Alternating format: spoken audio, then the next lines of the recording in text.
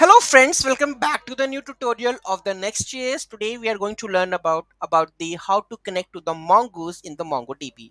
Those who haven't subscribed my channel yet, please do subscribe my channel and if you like the video, please do like, share and comment on my video. So let's get started.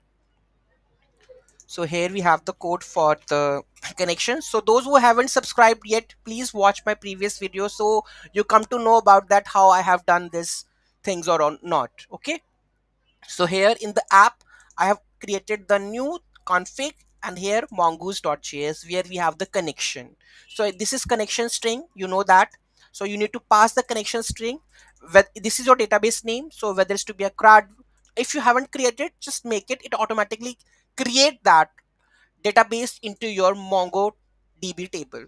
Okay? So it will automatically create. Whatever database name you can mention over here when it when the server restart it automatically create and create the models also. So here we have the create the models. So let's go and create the models also. So here we have the config then we have a dash their models so here we have to create the customers users. So the name age and the email. You have to create that one. So then export default customers. Okay? After creating this now we have to move to the api products then route.ts because i'm creating the api for that one. So route.ts okay. So here you need to import the connect db from the config mongoose and the customers from the models okay.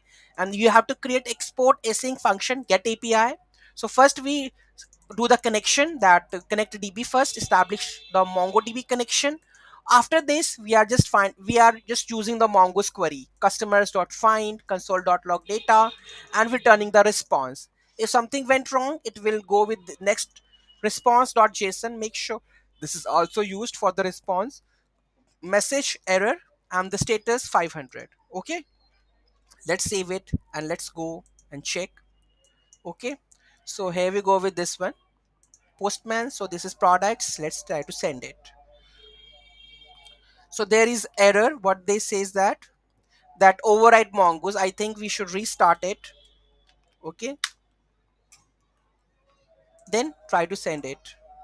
Here you can see the data is fetched. Okay so this is the data of the name age and the email already there and it is fetched over here right? If you want to see the robomongo i will show you the data also.